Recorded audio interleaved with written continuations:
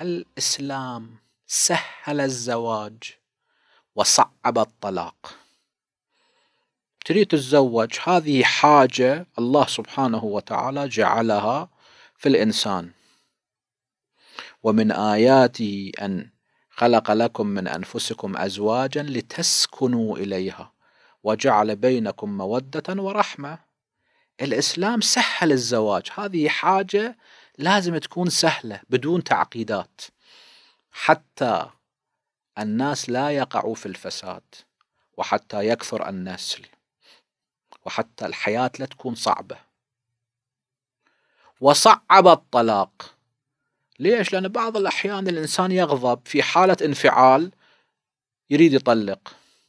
يعني نقول له لا شروط موجودة. إذا راعيت تلك الشروط ذاك الوقت لك حق أن تطلق. زين إلى أن يروحون يهيئون الشروط يمضي زمان تشوف ثورة الغضب وفورة الغضب قد خمدت.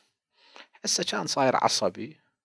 الآن هذه العصبية وهذا الانزعاج قد قل. شوية جاءت ال... ذهبت السكرة وجاءت الفكرة. ولذلك قد ينصرف عن الطلاق. أما بمجرد صار عصبي قال أنت طالق. أنت طالق ثلاثا خلاص الأسرة تنهدم. هذا يخالف القرآن ويخالف سنة الرسول صلى الله عليه وسلم. لذلك من الشروط؟ أن تكون المرأة في طهر. إذا كانت في الدورة الشهرية لا طلاق. صار عصبي يريد يطلقها.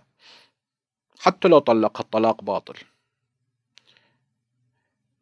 أن لا يكون قد واقعها في ذلك الطهر.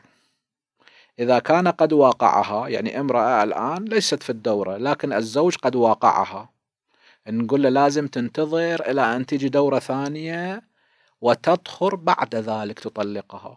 هسه هذا الفترة هذه الفترة قد تطول أسبوع أسبوعيا شهر أقل أكثر. في هذه الفترة ثورة الغضب وثورة الغضب وفورة الغضب تكون قد خمدت. فيكون طلاق عن تفكير. بشاهدين مقبولين يعني شاهدين عادلين. والغريب أن الله سبحانه وتعالى في القرآن الكريم يقول وأشهدوا ذوي عدل منكم. بنص القرآن يقول لما نطلق أشهدوا ذوي عدل منكم. والجماعة يقولون لا الشهادة مو مستحبة الإشهاد مو مستحب.